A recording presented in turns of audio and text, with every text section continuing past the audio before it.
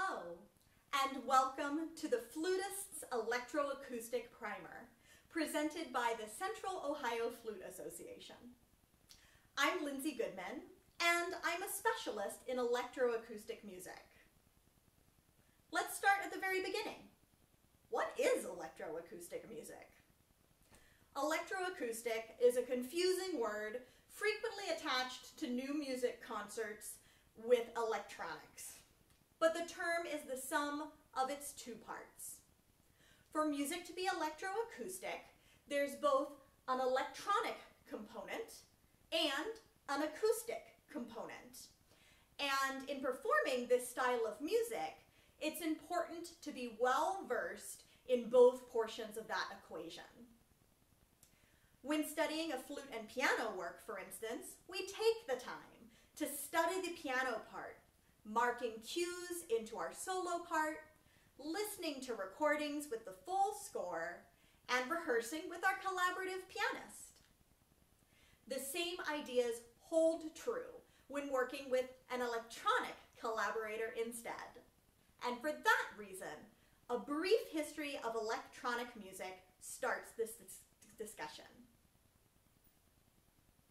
Though musicians had been experimenting with electronic sounds for some time prior, electronic music first came to major prominence in the 1940s and 1950s through the work of three important collectives across the globe. The Groupe de Recherche Musicale in Paris, France, the Nordwestdeutsche Rundfunk studio in Cologne, Germany, and the Columbia Princeton Electronic Music Center in New York City. There, composers like Pierre Schaeffer in Paris, Karlheinz Stockhausen in Cologne, and Milton Babbitt here in the United States were initially interested in musique concrète.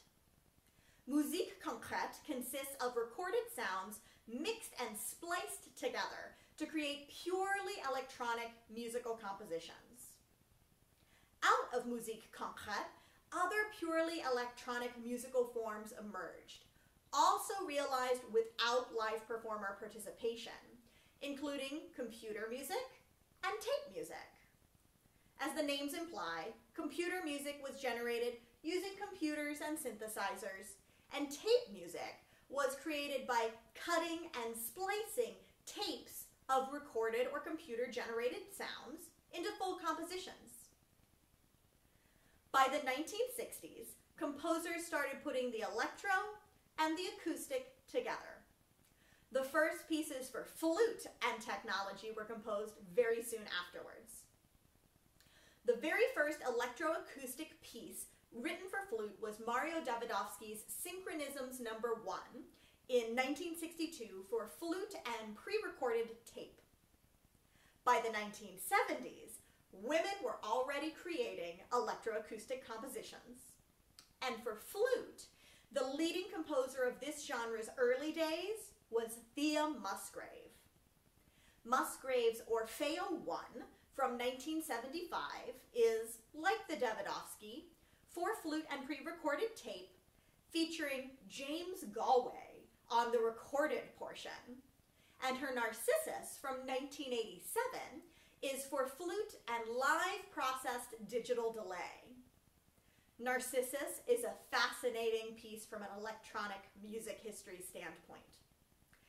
It was originally written to be performed with a large digital delay machine operated by the performer's feet through a series of pedals, switches, and signals, though the work is more commonly performed today using computer software. Since these early forays into electronic music, incredible breakthroughs in technology, and inspiring composers pushing boundaries for both instruments and computers have reinvented the electronic music world multiple times over, making electroacoustic music one of the most fascinating and rapidly changing 21st century musical mediums. Knowing a bit about electronic music the next logical question is, why should we integrate technology into our performing? Acoustic instruments and human voices have been working perfectly well for a personal musical expression since the Stone Age. And lugging around a bunch of microphones and speakers and cables and computers is a real downer compared to toting one cute little flute bag. Why should a humble flutist, still using Theobald Boehm's technology patented in 1847, care? The answer is so simple. We're all on our phones and our tablets and our laptops 24 7, 365. Tech company Asurion found that people check their smartphones in excess of 96 times per day. And technology is embedded in every aspect of our lives, especially during this past year of social distancing. Whether it's to connect online with friends and family, or to drive our cars for us. As flutists, we need to reflect the reality of the world we live in to connect authentically with our audiences through music. If Mozart were alive today, he would have thousands of Instagram followers and be an electroacoustic rock star. We're informed and we're convinced about the virtues of electronic music, so we're ready to roll. Let's explore the electroacoustic options for us flutists. Thankfully, we do not have to be software programming geniuses to integrate technology into our performances. We're going to explore three and a half electroacoustic options to get your next performance plugged in. The first subcategory of electroacoustic works are called fixed media pieces. This moniker grew over the years out of tape music. As time passed and technology marched forward, tape pieces became known as soundtrack and even boombox pieces until becoming known as fixed media pieces today, which harkens back to the original meaning of musique concrète. Performing these works is as easy as playing along with your favorite recording. So performers who are new to electronic music should begin here. The accompaniment never changes, which gives flutists the opportunity to practice both extreme consistency and to discover new ways of infusing each performance with innovative interpretation. Both wonderful skills to enhance our overall musicianship. Fixed media works are a simple way of breaking into electroacoustic performing. And when you hit that hard lick just right with the track, you feel like a superhero. That brings us to our first musical example, Rob Deemer's The Road from Hana. In this work, the fixed media is a flute choir of 12 alto flutes, which I recorded individually. The tracks were then mixed to create the accompanying soundtrack.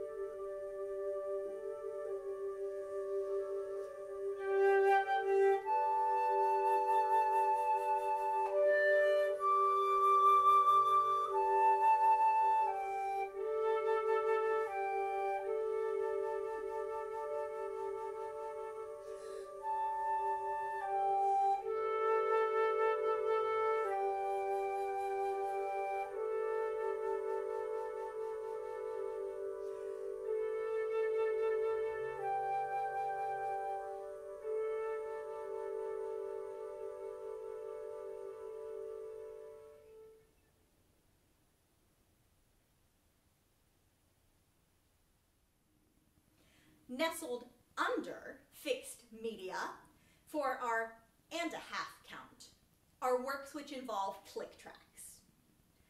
These are a lot like playing with everyone's favorite flute improvement tool, the metronome. Some fixed media pieces, especially those which involve multiple performers, have click tracks which facilitate practicing and performing with the soundtrack. And very convenient pieces have click tracks at multiple slower practice tempos in addition to the track at the performance tempo. Click tracks make performing with fixed media feel fail-safe. And the bonus is that you look like a rock star playing with a headphone over one ear. The next subgenre of electroacoustic works involve reverb, an effect which has been utilized in this style of flute music since Musgrave's Narcissus. Reverb technology has thankfully come a long way since the 1980s. Today, many software platforms make realizing digital delay and reverb effects easy with most laptops and a good microphone or a foot pedal. For overall reverb, a digital audio workstation, or DAW, installed onto a laptop provides a large range of customizable reverb options. These include software programs like Ableton Live, Digital Performer, GarageBand, Logic Pro, and Pro Tools, each of which include hundreds of customizable reverberation options. A variety of delay effects are sometimes also called for in electroacoustic music, most often realized with the help of a digital delay foot pedal. And as an alternative to DAWs, reverb can also be generated with live processing, which we'll discuss next. This brings us to our second musical example, Roger Zahab's Suspicion of Nakedness for solo flute with reverb. And this includes reverb from my DAW of choice, Logic Pro, to wrap my flute in a subtle halo of reverberation.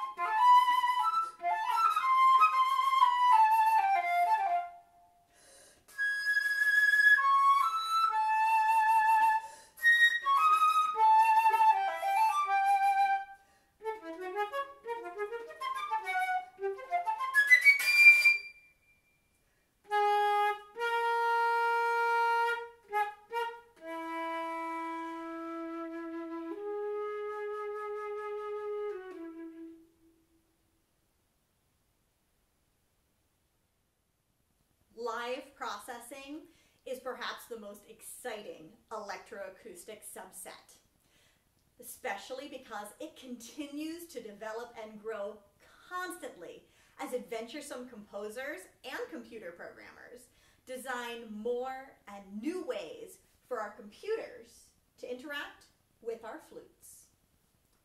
We're accustomed to our phones responding to our spoken requests, and live processing is a way to expand on that relationship using flute instead. With live electronics pieces, composers use software programs like Max MSP, Pure Data, and Audacity to capture the sound of the flute and then process it into real-time accompaniments which respond to individual interpretations, allowing for chamber music with a computer. Depending on the work or the specific event within a work, this may involve cueing a software event with a foot pedal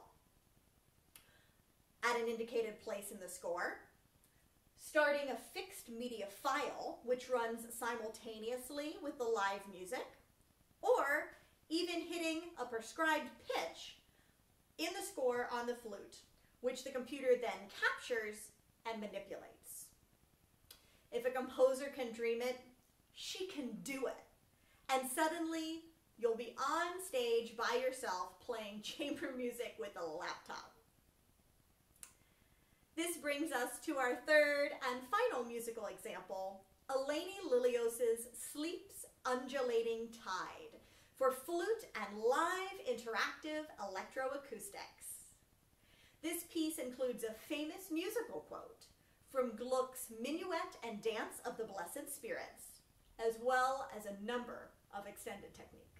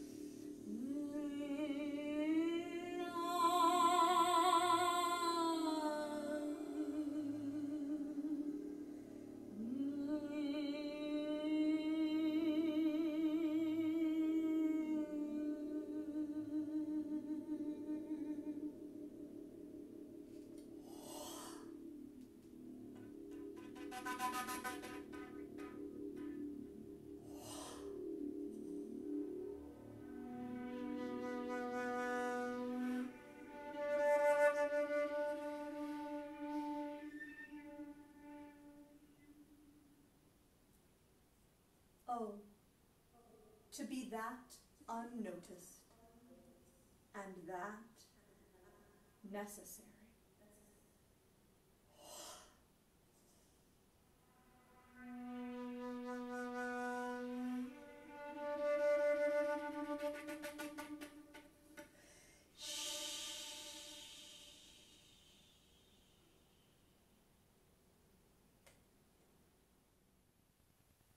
At some point, I hope that you'll want to give this exciting medium a try. Electroacoustic music can feel intimidating with the extra equipment and skill sets necessary, in addition to just playing the flute. But there's good news. When you're ready to dip your toe into the electroacoustic ocean, you don't need as much equipment or know-how as you might think to get started. Electroacoustic options can be broken down into what I call light, regular, and full fat options so that you can assess which avenue is right for you to begin an electronic adventure. Light electroacoustic options can still include everything from fixed media through live processed works, provided that you trust your performing venue and your audio engineer.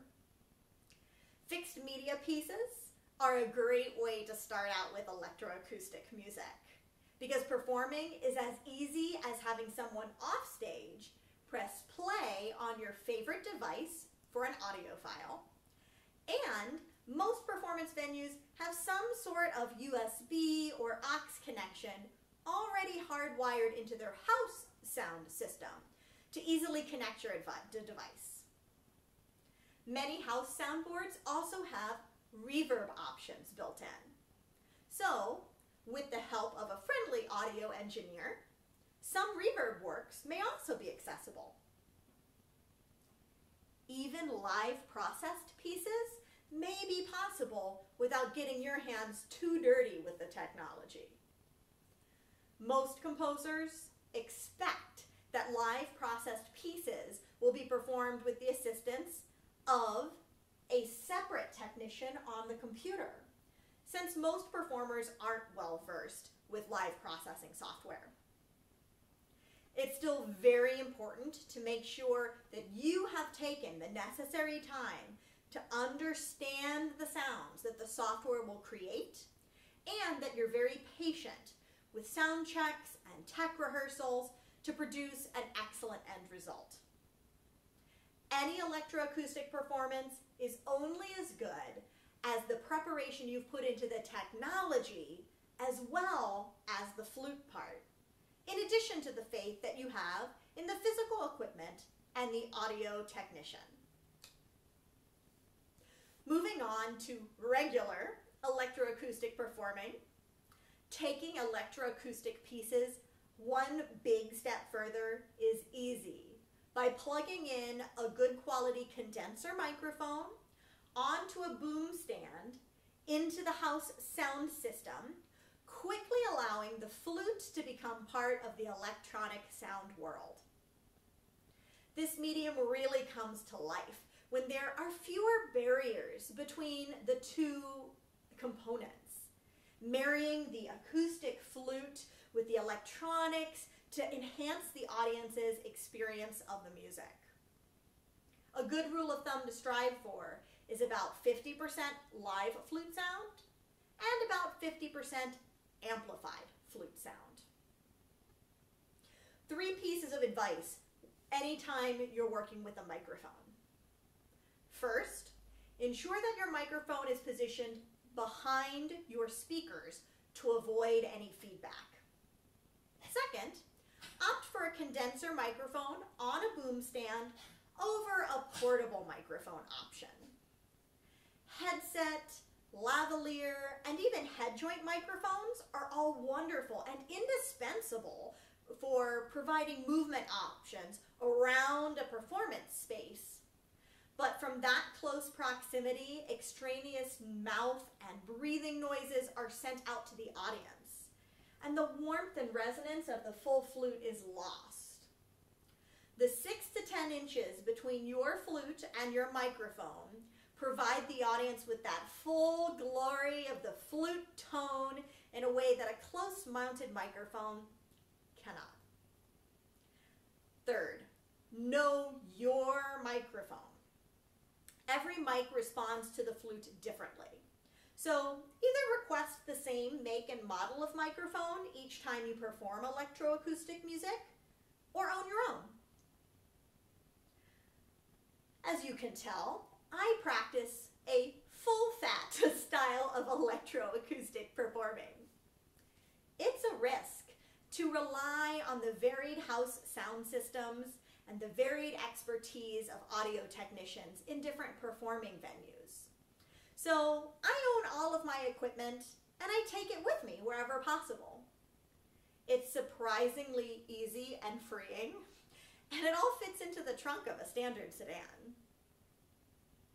In addition to a great microphone, knowing your own speakers helps to create consistency in your sound from venue to venue. Placing those speakers up on stands helps to send out to the audience on the right and left at ear level. Other than a microphone, the most important piece of electroacoustic gear is a simple plain black box, an audio interface. This connects the microphone and the laptop out to the speakers using Mighty XLR cable. You simply fire up the software on your laptop for fixed media, playback, live processing, or reverb for any type of electroacoustic performing. Welcome to being an instant one flutist band. The only thing you can't do by yourself is check for balances. Because even trying as hard as you can, you will never be able to play flute on stage and hear yourself in the hall at the same time. Even a full-fat electroacoustic performer needs an excellent set of friendly ears out in the hall in advance of a performance to help set levels and balances. So always set up some trusted tech help in advance of your electroacoustic performances. We've had an introduction to electronic music, a tour of the subsets of electroacoustic genres, and found out how to perform these pieces with as much or as little hands-on technology as is comfortable. So it's time to find some repertoire that speaks to you. All of the pieces in my personal electroacoustic repertoire are available on my YouTube channel at www.youtube.com backslash Lindsey Goodman fans. These include works with fixed media, reverb, live processing, commissioned pieces, pre-existing works, works for flute alone, electroacoustic chamber pieces, and even an electroacoustic concerto. Additionally, Sarah Louise Bassingthwaighte's online electroacoustic compendium weighs in at over 620 compositions currently. There is an electroacoustic piece out there for every taste and skill set. Once you've decided to perform electronic music in the future, begin investing in the gear that you'll require for light, regular, or full fat performings. Most electroacoustic pieces can be performed with just a microphone, a boom stand, an audio interface, a laptop, and a house sound system. So if this performing genre is of interest to you, begin small and grow your collection as your passion develops, adding speakers, foot pedals, and other hardware as needed. Both my complete annotated equipment list and my complete annotated repertoire list are available upon request via email. Send a note to me at lindsey at lindseygoodman.com and I'm happy to share those resources with you. It's incredibly exciting to stand on that cutting edge intersection of music and technology as composers develop new sounds and experiences with electroacoustic music. This genre puts us on the cusp of the newest musical innovations and makes performing solo as a one flutist band possible through a wide variety of musical styles. This genre dazzles audiences and is so fun. I hope that learning about this genre and hearing musical examples has you excited to explore electroacoustic music in the future.